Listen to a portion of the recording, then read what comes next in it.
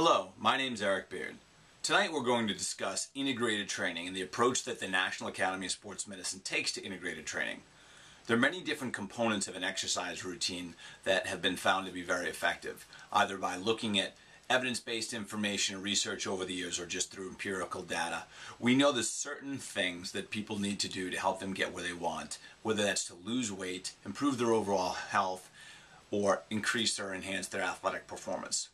We know that flexibility and warm-ups are an important part of an exercise program, as well as core training. Balance training in recent years has a significant amount of data information around it pointing to the benefits of it. Reactive training or plyometric training, speed, agility, and quickness training, as well as resistance training and a cool down. NASM would quantify those as the seven components to a workout, where you'd adjust the warm-up, during the warm-up you'd address flexibility and potentially a cardiorespiratory component, two, core training, three, balance training, four, reactive or plyometric training, five, it'd be more of an optional approach. Perhaps you do some speed, agility, and quickness training with someone. Then you'd have six as resistance training, and seven is the cool down. During the cool down, you'd perform some low to moderate activity, cardiorespiratory activity, and then flexibility again. The looking at the different aspects or components of a program and trying to figure out what are the best variables or approaches to use when performing these components of an exercise program. Due to the sedentary society that we live in in the United States and that's growing, growing globally as we, as we sit, more and more and more throughout the world, we're seeing a predisposition for musculoskeletal injuries. There's the adage that physicians are telling us to exercise more. Uh, so when people are having these morbidities, these comorbidities that are risk factors uh, typically related to obesity.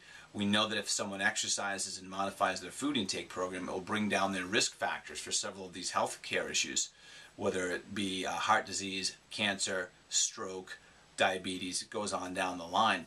But when we take this individual who's been sedentary for 20 or 30 or 40 years, that is 20 or 30 or 40 pounds overweight, and we begin to have them exercising with their poor posture, poor muscular imbalance, their muscular imbalances, and oftentimes an inappropriate program, we know that injuries result. So NASM has tried to provide a systematic approach to get any client to any goal, to thoroughly assess the individual, understanding where they are in the relationship towards their goal, and build a program that's evidence-based to get them there. The model that they use is called the Optimum Performance Training Model, the OPT model. There's a staircase approach or a visual representation of this uh, the bottom of the staircase focuses mostly on stabilization, improving posture, alignment, coordination, and control. There's a specific type of training or phase of training held within that block of the OPT model. The next block of the model is the strength level. There are three different phases of training held there, and each of these phases has a different set of acute variables. We'll come back to acute variables towards the end of the video. In the strength level of the OPT model, we're focusing on improving, increasing the volume and intensity of the work that's being done. We're moving external load repeatedly, A to B. This is where some of you more traditional styles of working out, as well as some of your hybrid and more progressive styles of working out will be held as well. And then there's the power block or the power level of the OPT model that has only one phase. And we're working on improving or enhancing rate of force production, moving explosively. This isn't just for athletes, people in everyday life who need to step up off of a curve or throw a snowball or move out of the way of a cab or try to catch something that's falling off the counter. We do need to move quickly in everyday life. Some of the subtleties as far as differences go between these five phases are selecting specific exercises that uh, lend themselves to each of these five phases or within the three levels of the OPT model. More importantly, we're going to examine the acute variables. Based on the law of specificity or the SAID principle, specific adaptation to imposed demand, we know that if we apply a specific demand to the body for long enough, there will be an adaptation. If you've, if you've ever run or jogged before, if you haven't jogged or run for a while and you get out that first day is fairly difficult as well as the second day because you're usually a little sore by there. But uh, just for example, if you were to jog a mile a day for a week, by the end of that week, around that sixth, seventh, eighth day, that mile would be easier. And if you wanted to make it more challenging, you could run for a greater distance or for or go for a faster speed. Two ways to progress that. So we know when we manipulate the acute variables, we get different results. And there's enough research on these variables to be very clear on what it is that we're going to get as far as adaptations go. The acute variables are sets, uh, repetitions, rest period, tempo, intensity. And intensity oftentimes when it comes to resistance training is just the percentage of someone's one rep max or the weight they're going to use.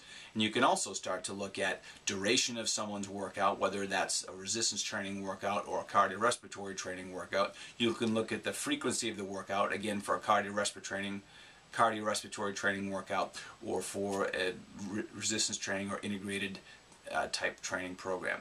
So we know by adjusting these variables in a systematic and progressive manner, we can bring someone slowly from where they are up towards their goal. We would like to adjust or modify these variables on a semi-regular basis.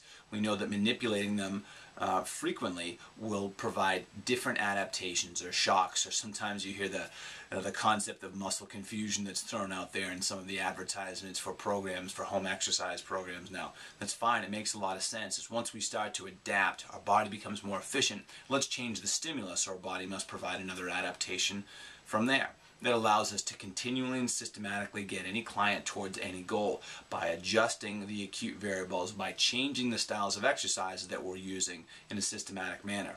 The challenge is we want to match someone's assessment to their program on that point and move them up from there. Far too frequently, people will begin by doing too much or the wrong type of programming or poor technique, and they won't make it past six weeks of exercising. We've looked time and time again at the rate of musculoskeletal injuries for beginners, and it's getting worse, not better.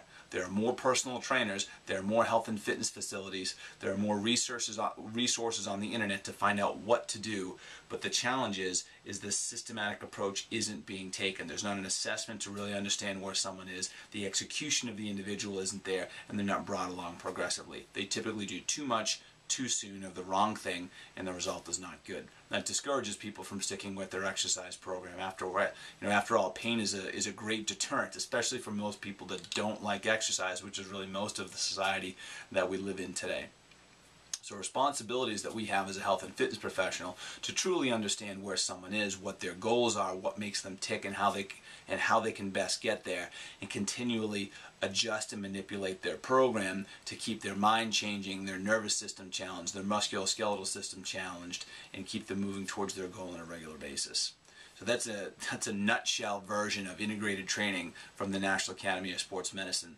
We're going to do a few more videos here that are going to talk about the different components with some more detail. Thanks for watching.